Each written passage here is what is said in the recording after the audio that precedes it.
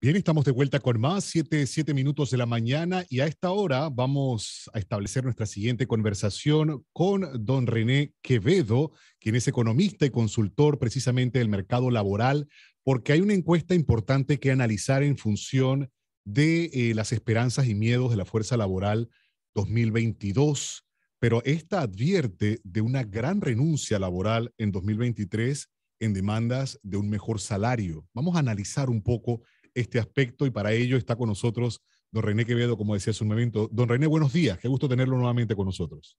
Buenos días, Ricardo. Gracias por la invitación. Un placer estar acá.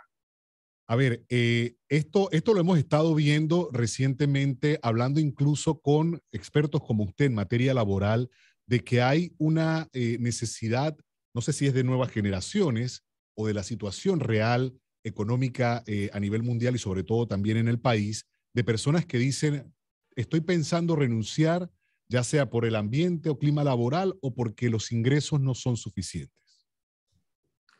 Sí, e, es, correcto. Estamos, estamos viendo em, eh, tendencias muy interesantes. Eh, no olvidemos que Panamá eh, es una economía donde 70% de los empleos son presenciales, de tal manera que al adoptar Panamá las medidas de restricción de movilidad más severas de toda Latinoamérica, eh, tuvimos el, el pagamos el precio socioeconómico más alto, que incluyó la cuarta peor contracción económica del mundo. Y también, eh, a pesar de que la planilla estatal aumentó, 648 eh, mil trabajadores del sector privado, o sea, tres de cada cuatro, perdieron sus trabajos o fueron suspendidos. ¿okay? De hecho, de los de 364 mil perdieron sus trabajos, y 284 mil se le suspendió el contrato de esos 284 mil, 43 mil nunca recuperaron sus, empleos. Entonces, venimos en un proceso de reconstrucción, ¿verdad? no eh, todavía, lamentablemente, la reactivación económica que tenemos es debido al sector externo, exportaciones de, de cobre, de minera Panamá, eh, los ingresos del canal. Sí, los puertos, eh, eh la, zona libre de Colón, correcto, sí. Pero el sector interno sigue deprimido, este, porque básicamente no ha habido una estrategia de reactivación económica ni generación de empleo. La fórmula ha sido vacunación, contrataciones en la planilla estatal y subsidios, todo pagado con préstamos, de tal manera que eh, obviamente estamos comenzando, la, se ha recuperado parte del terreno perdido, pero nos falta mucho. Ahora bien, en ese contexto, en ese contexto, eh, si analizamos el último informe de la Contraloría, eh, eh, que revisa el periodo octubre de 2021 a, abril del 2022, vemos cosas bien interesantes. Por ejemplo, eh, se generaron unos 109 mil empleos. Obviamente la mayoría fueron informales, o sea, el, desempleo cae porque aumentaron los informales y aumentó la planilla estatal. Pero si vemos el, número de empleos formales generados eh, en el sector privado fueron 38 mil. Sin embargo, de esos, la mayoría, el 80% fueron, son temporales y solamente 7.600 son eh, indefinidos, que, eh, en comparación con más de 60 mil informales. O sea, la proporción entre empleo formal, llamémoslo así, estable, versus informales de 1 a 8. Entonces, eh, también estamos viendo una, una caída. El número de personas que gana más de dos mil dólares cayó en casi un punto. Eh, tenemos dos mil personas menos que ganan eh, más de, dos mil dólares. Entonces estamos viendo una tendencia a la depresión en los salarios. O sea, en ese sentido, es previsible que mucha gente a futuro probablemente tome esa decisión para incurrir en emprendimiento, porque la, economía no está generando nuevos empleos. Eso es el problema. Es que a eso iba precisamente, porque si estamos hablando de que no está generándose plazas de empleo con, con, con salarios mayores o que superen los dos mil dólares, ¿cómo alguien podría de alguna manera, dentro de la dificultad que sea percibir un salario bajo, por lo menos la, eh, hablando en, en, función de lo que piensa mucha gente, ¿no? La estabilidad de por lo menos tener eso eh, producto de tu trabajo cada quincena. Pero desafiar entonces a, través de una renuncia te expone también a qué. Y usted ha dicho, entonces sería esa la, informalidad a través del emprendimiento. Correcto, sí. De hecho, ya lo veníamos viendo. O sea, eh, eh, como dato curioso, el problema es que nosotros, ¿quiénes son los informales? Los informales son empleados que no tienen contrato laboral, los independientes, aunque coticen a la caja del Seguro Social y paguen impuestos, yo soy informal.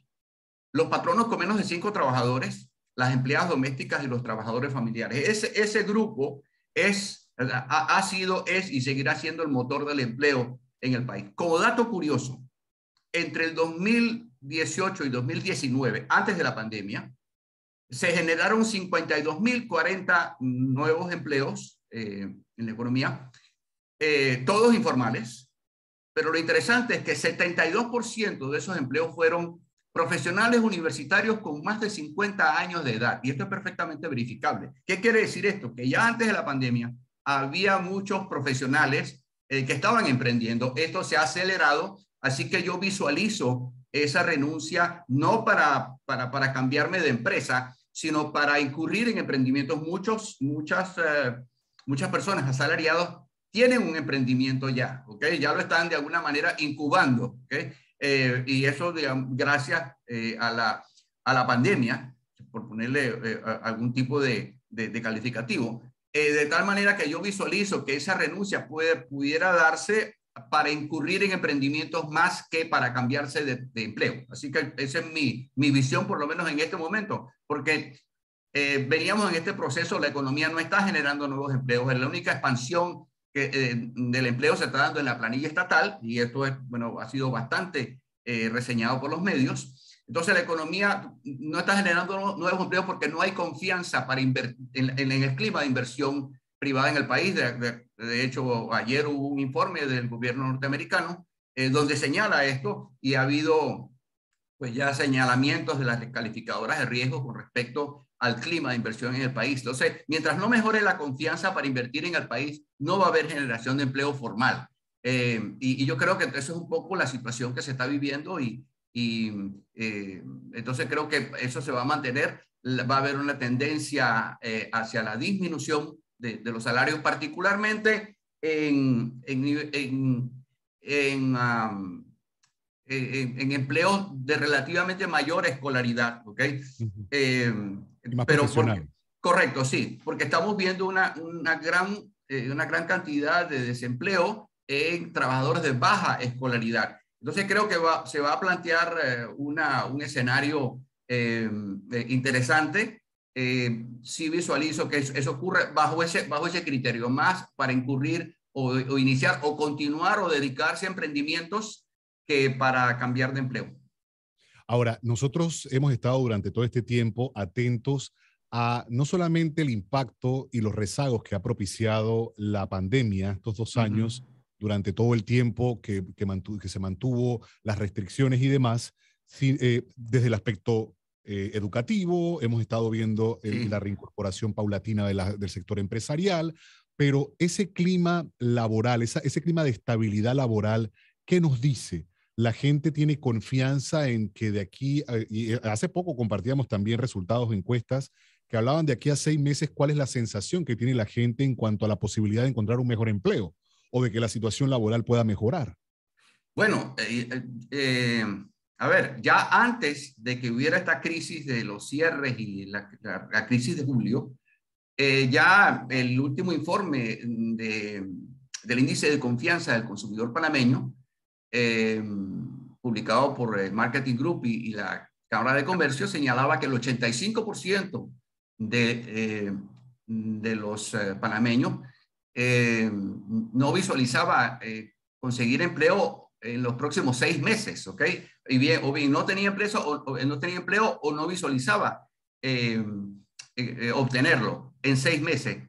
En mayo, la, la, encuestadora Ipsos indicó que el 93% de los panameños temía por su empleo. ¿ok? Ahora, agreguémosle a esto lo que pasó. O sea, lamentablemente los cierres y la, esta crisis en una economía, insisto, 70% presencial nos echó para atrás. De hecho, ya a pesar de los aumentos significativos en la planilla estatal, hasta junio, eh, en mi eh, había tramitado 42% menos contratos laborales que en el mismo periodo del 2019.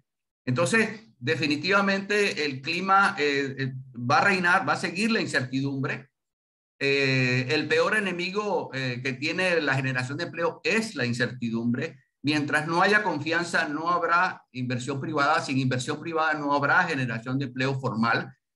lo estamos viendo. Si hay demanda y no hay inversión privada, se va a generar empleo informal. ¿Qué es lo que está ocurriendo? O sea, para poner las cosas en perspectiva, eh, eh, mencioné hace un momento que en el 2019, a pesar de que se tramitaron 378 mil nuevos contratos laborales por parte de Mistral, se agregaron a la economía 52 mil 40 nuevos empleos, todos informales.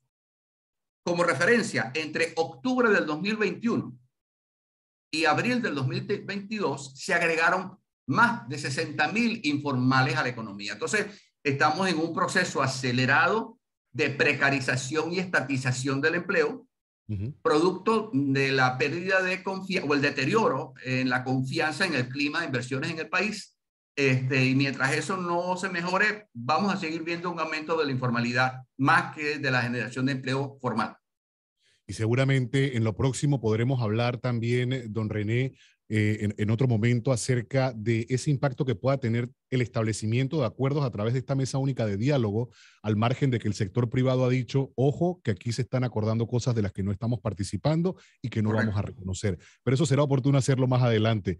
Le agradezco la oportunidad, como siempre, de acompañarnos en este espacio y pues a través de su análisis compartir también la experiencia sobre este tema. Gracias por la invitación. Hasta luego. Vamos a avanzar siendo las 7:19 minutos de la mañana.